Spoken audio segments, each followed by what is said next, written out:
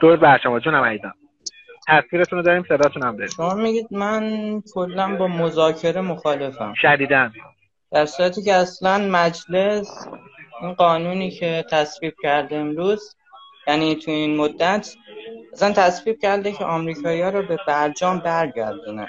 اونا هم اشتباه کردن. اینطوری این درسته؟ مد... نه من تا اونجایی که می‌دونم دو ماه فرصت داده که اگر آمریکایی ها به تعهداتشون عمل نکنن بقیه رو میایم بیرون. در حال. از یه منظر صحبتتون درسته. ولی به هر حال مجلس هم تو این زمینه ها خب این نشان از نفوذ جریان گفتمان لیبرال دیگه که مجلس انقلابی هم بالاخره تهش برای اشکالی داره؟ اشکالش که قربت دارم من تو دو هزار تا برنامه گفتم. شما بگو چه اشکالی نداره تا من اشکالش رو بگیرم. اصلا هسته ای یکی از ویژگی های مهمش اینه که ما باش می‌تونیم آمریکایی را بکشونیم پای میز مذاکره و ازشون امتیاز بگیریم. چه امتیازی بگیری؟ اونجا نیاز به از همین لغو تحریم ها اگر یک تیم دیپلماتیک قوی داشته باشیم. خب چرا به تیمی که از موضع خب قدرت مذاکره حالا یه پرسش دارم. چه به جای اینکه مثلا ما بریم لغو تحریممون بکنن که چهار تا جنس بنجل آمریکایی که مثلا می‌خوایم بخریم که بهمون نمیدن الان؟ چرا خودمون رو قوی نمی کنیم که تو مرزهای خودمون؟ آیا ما این ظرفیت رو نداریم خودمون تولید کنیم نیاز به تحریم خب مثلا یه بحث عدم تحریم نباشه؟ یه موضوع میان مدت بلند مدته ما باید برای کوتاه مدتمون هم یک فکر کنیم. برای کوتاه مدتمون هم نه برای کوتاه مدتمون هم ببین اصلا این نفس مذاکره برای همین من مشکل دارم دیگه. بعد با آمریکا سر چه چیزی می‌خوایم مذاکره کنیم؟ آخه بگید سر چه چیزی؟ مثلا سر این می‌خوایم مذاکره کنیم که کشتی ما تو دریای کارائیب هستن. یا پایگاه نظامی ما مثلا توی کوبا و توی ونزوئلا خب ما هسته برای همین آوردیم جلو. خب آوردیم جلو ما هسته ای رو آورد جلو که اگر خواستیم مذاکره کنیم سر موشک و کشتی و نظامی مسائل نظامی مذاکره نکنیم. سر هسته ای مذاکره این کنیم. یک روایت ساده انگارانه ای که آقای حسن روحانی و ظریف آوردن همین الان که من و شما صحبت می‌کنیم همین الان خانم وندی شرمن که الان داره مذاکره دارم می‌کنه. یکی از کسانی که داره تو تیم آقای بایدن چیز می‌کنه مشاوره میده. همین الان میگه که ما اصلا سر هسته همون همین روایت هم یعنی اصلا اونا قبول ندارن. همین روایت هم یه صحبتی که آقای ظریف و حسن رو یک نگاه ساده ایه که آمریکایی‌ها و تازه همون موقعش هم اینا دروغ میگن. شما همین هسته ایش هم خود حسن روحانی صحبتش برای نوروز 95 هست که گفت ما دنبال برجام دوم و سومیم که هم آقای خامنه ای همون روز تو مشهد جوابشو داد. تو نوروز 95 هم بعدا آقای سلیمانی جوابش داد که این برجام سدلیه اینا. یعنی اصلا این طرز تفکر که ما فقط بریم سر هسته یعنی اگه وارد این بازی میشی این مثل دومینو میمونه. تا آخر بعد بریم. این اصلا میگم مثلا ما بریم الان هسته ای رو با آمریکایی‌ها ببندیم. آمریکایی‌ها میگن اوکی تموم شد. دیگه کاری به موشکی و منطقه‌ای ما ندارن. نه نه می‌تونیم از موضع قدرت مذاکره کنیم مثلا موضع قدرت؟ نفت مذاکره ای که تو چیزیه که ببین من الان اینو دارم. آقای خامنه ای آقای خامنه ای گفتن ما سر مسائل منطقه‌ای مسائل موشکی مذاکره نمی‌کنیم. تو عمل اما اجازه دادن سر مسائل هسته‌ای مذاکره کنیم قرار هم نیست تا تهش بریم. می‌تونیم دوره‌ای مذاکره کنیم. مذاکره نتیجهمون رو گرفتیم میت... مذاکره می‌دونی یعنی چی؟ مذاکره یعنی اینکه آمریکا یه دونه نیشابه داره. من گوش کن. آمریکا یه دونه نیشابه داره نگاه کن. من یه دونه آبلیمو دارم درسته؟ من میرم مذاکره کنم با آمریکا یا آمریکا میاد با من مذاکره کنه که اینو عوضش کنه. بگه تو آبلیمو تو به من بده من میشم برم من می‌خوام بدونم که ما الان تو این مذاکره آمریکا چی فقط می‌خواد بیاد میگه من نوشابه‌مو که مال خودمه. می‌خوام آبلیمو تو هم مال من بشه. حالا مذاکره می‌کنه میگم نه کل آبلیمو من نگی نصفشو بگیر ان نصف این مذاکره خیانته. چون اون اصلا نوشابه خودش رو رو نکرده که داره میاد سر هسته‌ای تو بحث می‌کنه. تو آیا سر هسته‌ای آمریکا می‌خوای بحث کنی؟ یعنی در این مذاکره ای من می‌خوام بدونم فقط هسته ای ایران مطرحه یا نه؟ بمب هسته ای یا مادر بمب ها که مال آمریکا؟ نه اون تازه عمل هم کرده سر مردم ژاپن ریخته. اونم هسته ایشو میاره وسط تو هم هسته ای تو میاری وسط. مثل حالا حد آمریکایی با شوروی که مذاکره کردن سر بمبای قاره پیما گفت من بمب قاره پیما ما آوردم وسط. شوروی هم گفت من بمب قاره پیما ما آوردم وسط. ولی در این مذاکره حسن روحانی که ما فقط هسته ایمونو میاریم وسط. آمریکایی‌ها خودشونو خودشونو دارن میارن. تازه منت سر ما می‌خوام بدونن اگر شما آقا قبول کردین ما قول نسیه بهتون میدیم. پولهای بلوکه شده خودتون رو بهتون پس میدیم. نفس این مذاکره خیانته. من نمی‌فهمم. اگر اگر مجلس تونست آمریکایی ها رو یک جوری بکشونه پای مذاکره که ازشون امتیاز بگیره چی؟ باز من دارم می‌پرسم چه امتیازی؟ امتیازی بگیریم که آقا پولای بلوکه شده خودمون یه امتیاز نیست؟ نه هیچ امتیازی نیست. هیچ امتیازی لغو چرا وقتی ما پولمون رو می‌تونیم پس بگیریم؟ شما آدم یاد سریال مختار میفته اون آخرش. البته من اینو کتاب جلد هشتم تاریخ تبری کل جزئیات داستان مختار توضیح داده. که همونجا اینا میگن ما بریم کوتاه بیایم اینا برادر اونا تازه برادرای مسلمونشون بودن مختار گفت فردا همتون مثل گوسفند سر می‌برن. این که دیگه آمریکاییات مردم خودش رحم نمی‌کنه هوملسشون داره می‌کنه. خدا رو هزاران مرتبه شکر ما رفتیم آمریکا رو دیدیم چه خبره. فرار کردیم اومدیم اینجا سر شاخ آفریقا حتی شاخ آفریقا که نه جنوب مراکش. نه قربت برم. اینایی که شما دارید میگید یک نگاه مثلا ابو موسی اشعری واره یک نگاه ساده یعنی ساده ترین مدل نگاه به مسائل و مناسبات جهان. و البته من به شما به عنوان جوان ایرانی حق میدم. وقتی که بزرگان این مملکت یعنی کسانی که رئیس جمهورن وزیر امور خارجه اونقدر کودکانه صحبت می‌کنن طبیعیه که این نگاه کودکانه در جامعه رشد و نمو پیدا بکنه. به حال آقا من کوچیکتم اومدی بالا. لطف کردی. افتخار دادی. بعد یک مسئله هم دوستان دیگه هم بیارم دیگه. عزیز دوستان دیگر دوستان دیگر هم می‌خوام بیارم با اجازت. OK پس. قربتون برم. زنده باشید. این این live من save ش کنم. و من نمیم در مورد برجام دوستان من قیرم اینو من این یه بار دیگه تکرار کنیم به این نتیجه برسیم واقعا. یک نگاه ساده ما داریم در مورد مناسبات جهان. مگه من با نفت مذاکره مشکل دارم. آمریکایی میگه آقا من در مورد مثلا این آبلیمو تو می‌خوام صحبت کنم. هر مدلی من وارد این مذاکره بشم سر اینه که آمریکا می‌خواد بگه آقا جان یک سوم آبلیمو تا مثلا کم کن کلش رو کم کن یا نه؟ حالا ما اگه یک کسی رو ببریم که مذاکره بد بکنه مثل ظریف کل آبلیمو رو میده بهشون؟ یعنی کل آب سنگین عراق و اینا رو بتون میریزه. سانتی رو قطع می‌کنه. جلیلی رو ببریم زرنگی می‌کنه مثلا دو سوم آبلیمو رو برای خودمون نگه داره یک سوم میده. آقا این در هر جور حساب کنی ضرر ما. چه ما مذاکره ای داریم با آمریکا؟ آیا در مورد این آبلیمو ما که آمریکا می‌خواد با ما مذاکره کنه آیا آبلیمو خودش یا نوشابه خودش هم رو می‌کنه برای ما که ما سر اون مذاکره کنیم؟ نه. چی رو می‌کنه؟ میگه من یه سری چیزا تو رو تحریم کردم یه سری پولای بلوکه شده رو تحریم کردم پولای خودمونو. اونا هم تازه می‌خواد چی؟ اونا هم وعدهشو میده قسطی میگه بهت میدم. میگه تو بیا آبلیمو تو به من بده کامل. من به تو چی بدم؟ پولات نسیه تازه بدم. اگر بده که نه ما دوران اوباما پولامون رو نگرفتیم. یعنی ببینید به قایت این داستان من نفس مذاکره خیانته. حتی اگه جلیلی آقای دهقان بگن مذاکره یک شعاری که الان بچه انقلابی دارن میدن برای که کم میارن تو گفتمان از این لیبرال ها شعار را می‌دادن مذاکره با اقتدار. آقای چه اقتداری توش داره؟ اساس مذاکره که فقط سر داشته توه. این که اقتدار نمیشه. هر جور وارد این مذاکره بشی آقا حماقت و ذلته. نفت ذلته. من واقعا نمی‌فهمم. آقا من حرف اشتباه می‌زنم. یعنی واقعا من چطور عقل من ناقص می‌فهمه. من که یه خورده سیمام هم قاطی داره چهار پنج تا تختم کمه. الان بعد بلند شم برم اینجا دورم پر دیسکو اینا. دلم اینجا اشغال کنم نشستم اینجا دارم سر کله می‌زنم. پس سه چهار تا تخته من کمه دیگه. پس منی که سه چهار تا تختم کمه. چطور مسئله به این سادگی رو می‌فهمم؟ چطور اون آقای ظریف و حسن روحانی حرام لقمه اینو نمی‌فهمن و این گفتمان ساده انگاری رو میارن بستش میرن به جامعه. اینو من نمی‌فهمم. قربونتون برم. من این live رو ببندم. یه چند دقیقه استراحت کنم. ساعت چند البته. دیگه جمع کنیم بین خونه زندگیمون. نه دیگه جمع می‌کنیم بین خونه زندگیمون. زیاد صحبت کردیم. دوباره یه شب دیگه میام بیشتر صحبت می‌کنیم. قربونتون برم. شب گفتگو خوبی بود. همینجا میبندیمش. و چند تا کامنتاتون رو فقط می‌خونم. نه من, من با این عقل ناقص هم من فهمیدم. اینا چرا نمی‌فهمم؟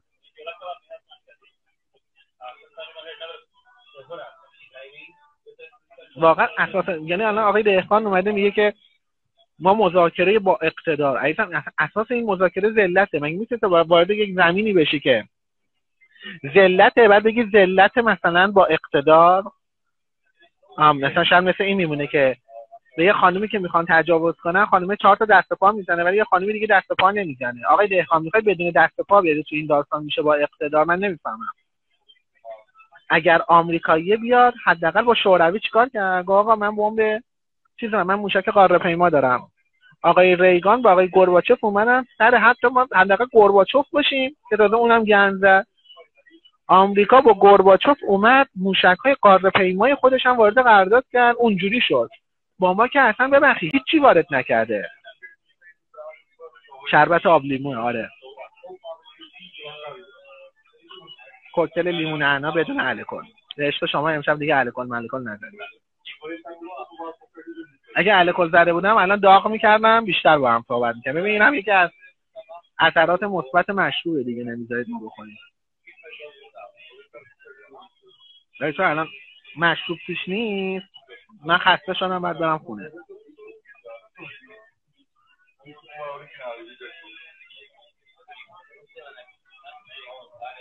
یکی میگه خواهشان از این مثالا نزن. نمی‌تونم.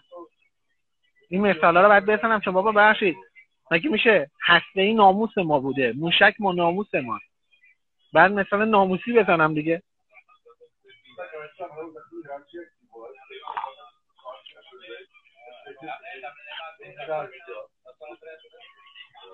زنده باشه. پس بنابراین اساسه. یه عزیزی میگه منو بیار بالا. عزیزم آخه چرا بیارمت بالا؟ نام جعلی یه عکس حداقل یه عکس یه چیزی گل و گیاهی حداقل بذار به پروفایل خدای من. قربونتون برم. بعد شما بشم من برنامه صحبت برنامه دارم. live اینستا رو میبندم. نمی‌دونم برای همینه من میگم ما شکست سنگینی خواهیم خورد. و تو این داستان تنها و تنها ما باید با یک کودتای نظامی جریان آقای روحانی رو به قول اینجا finito. finito finito ش کنیم ببندیم و برای همیشه اینها رو به زبالدان تاریخ بندازیم. هیچ مذاکره ای من اساسا با نفس مذاکره. آخه بعضی از این عزیزان اقتدارگرای متضمن ها میگن ما با نفس مذاکره مشکل نداریم. با این مشکل داریم کی بره مذاکره کنه؟ این هم خیانته. چه مذاکره ای داری با آمریکا بکنی؟ اگر آمریکا اومد آقا من هسته ایمو رو کردم تو هم بیا رو کن.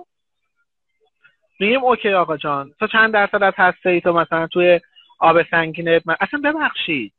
آمریکایی‌ها و اسرائیلیا اصلا نیروگاه های هسته‌ای خودشونو به دنیا نشون ندادن. در NPT نشون ندادن. ما تا آخه میگن مثال چیز نزن. ما تا همه سوراخامون رو اومدن دوربین برامون به کار بستن. اینا چیزاییه که به قایت انسان رو ببخشید. ببین من اون شب تو اون برنامه بغضم کردم گفتم آقا تکلیف ما رو روشن کنید. یا شماها در حقیقت. رومی رومیه یا زنگی زنگی. یا شماها محکم وای میستید با اقتدار ایستادگی می‌کنید و در حقیقت همون مسیر انقلابیگری و این چیزایی که شما میگه. اونو میرید جلو. یا اینکه نه میگید آقا تمومه دیگه قضیه تمومه. یا این ور باشید یا اون ور باشید. ما تکلیفمون رو بدونیم. نمیشه که ما بگیم آقا یک جریانی مثلا می‌خواد. حالا با discourse اقتدارگرایی انقلابی سردمدارانش تازه برگردن بگن مذاکره با اقتدار. پس دعواتون با این اصلاح طلبا پس این بیچاره ظریف دروغ نمیگه. این دعوای شما ما سر لحاف ملاست. پس این ظریف دروغ نمیگه که میگه اینا مثلا میرن به آمریکا یا پالس میفرستن اینا رفتنی هم با ما ببندیم ما اصلا مشکل داریم با خود بستن. ما چه بستنی داریم با آمریکا یا ببندیم؟ چرا باید ببندیم؟ با کشوری که با مردم خودش به قایت دارید می‌بینید چگونه مثل حیوان برخورد می‌کنه. چه برنامه ای داریم مگه اونا می‌خوان مثلا هسته ایشون رو رو کنن که مثلا ما رو می‌کنیم؟ چه گفتگویی ما داریم با آمریکایی‌ها؟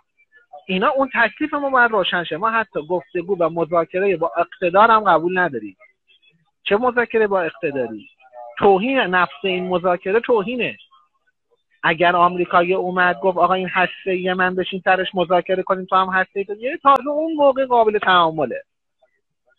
می‌تونیم تعامل کنیم بریم یا نریم. یعنی اصلا از اساس اون میگه هر چی من دارم آمریکایی میگه من هر چی دارم به تو ربطی نداره به تو ایران. ما می‌خوایم مذاکره کنیم بر سر داشته های تو.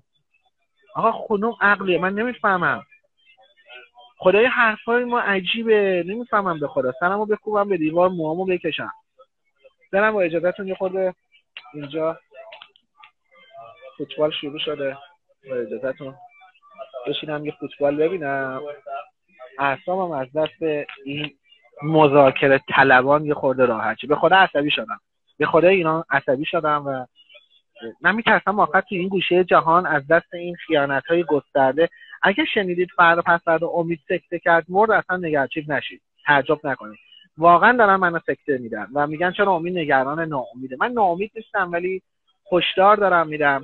و اگر جریان اصلاح طلب جلوی صحبتاشون از نظر اجرایی حداقل گرفته نشه و با این جریان تصفیه حساب نشه سرانشون زندان نیفتن. ببینید پیش بینی های من هم دیدید دیگه. همش درست در اومده. اگر جلوی این جریان فکری لیبرال روحانی بازی و مذاکره بازی و اینا گرفته نشه دیر یا زود خواهید دید. تا کمتر از من گفتم تا کمتر از ده سال آمریکا نابود میشه. اگر جلوی این تیم روحانی گرفته نشه ما جلوتر از آمریکا نابود میشیم. این خط این نشون. کار نظام کمتر از ده سال من پیش که دیدید. اگر جریان روحانی گرفته نشه حالا روحانی که الان انتخابات میشه یکی دیگه میاد بالا.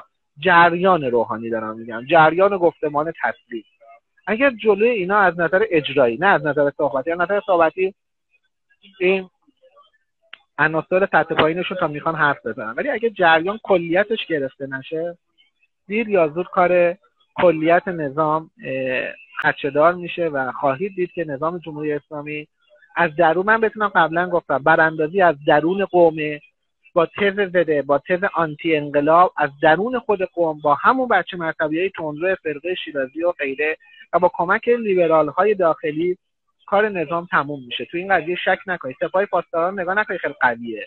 سپاه پاسداران دنیا رو حریفه ولی از پشت اگر قرار باشه داشت ضربه بخوره خنجر خورده بشه هر چقدر هم قوی باشه اصلا سپاه اون چیزی که شما میگید سپاه امام زمان. ما که عشق کوروش بزرگ و تاریخ ایران باستانی ما میگیم گارد جاویدان. گارد جاویدان من یا سپاه امام زمان شما. اول آخر اپوش اگر بهش خنجر بزنن کار تمومه. جمهوری اسلامی از درون متاسفانه جریان اصلاح قدرت اینو داره کارشو تموم کنه. این هشدار منو ایزان جدی بگیرن یا می‌فهمیم یا نمی‌فهمیم. اگه می‌فهمیم بایستی بریم وارد گفتمان کودتا علی اصلاح طلبا بشیم. اینا باید همه بازداشت بشن. آقای جواد ظریف آقای روحانی اصلا اینا نباید در قامت یک فرد سیاسی اینا باید در لباس زندان دیده بشن. این سخنان هم تنزوی نیست. خواهید دید. این سخنان عین اقلانیتی که دارم بیان می‌کنم. وگرنه حدیث این جریان ما نمیشیم. اینا بلدن گفتمان بلدن. گفتم بهتون ظریف و روحانی صدها نفر مثل ما رو گره می‌زنن توی حرف. اینا وقیه اینا آموزش دیدن ذهنی که از توش در میاد که ما میگیم آقا شما رفتید مثلا بعد مذاکره کردید یه آدم خوب بره مذاکره کنه میگه آقا یه کشتیگیر اگر زمین بخوره دیگه مثلا میگه بازی نکن. نه تشویقش می‌کنی دوباره بازی کن. این از ذهن یک فراماسون در میاد. از من بپرسید که سالها در کار می‌کنم جریان روحانی در گفتمان جریانی آموزش دیده و کاربلد. و اینها نظام و با گفتمان مثل موریانه. گفتمانشان مثل موریانه است. پایه های نظام و با مثل موریانه با این گفتمانی که ایجاد می‌کنن می‌خورن و نظام متاسفانه اگر با اینا تصفیه حساب جدی نکنه کارش تمامه تمام این مشکلات هم اگر نگاه کنید تمام این ترورها هم اگر نگاه کنید به قول سردان نوعی اقدم درست گفت. البته این یکی رو که چیز گفت یکی دیگه گفت الان حضور ذهن ندارم. درست گفت همش از سال 88 شروع شده. دقیقا از فتنه 88 اینا جرأت پیدا کردن که دانشمندای ما رو بزنن. و به خاطر دو صدایی در ایران دیدن شکاف در ایران دیدن. به هر حال دیگه باید بریم در آینده ببینیم چی میشه. بالاخره روشن میشه نگرانی من به حق یا نه. می‌بینید از الان دارم میگم انتخابات 1400 دلتون خوش نباشه. با این شرایط با این کاندیداهایی که من دارم می‌بینم یک شکست سنگین برای جبهه اقتدارگرا و میهن پرست خواهد بود. اگر دست نجام من همه حرفی که می‌زنم ناامیدتون نمی‌کنم. فقط دارم میگم من هیچ وقت ناامید نمیشم تو زندگی. بچه من همین الان دو تا پامم از دست بدم ناامید نمیشم. برای فردای زندگی برنامه میشینم فقط دارم میگم هوشیار باشیم که چیکار کنیم قربونتون برم. شب و روزگار خوش. پاینده ایران. بدید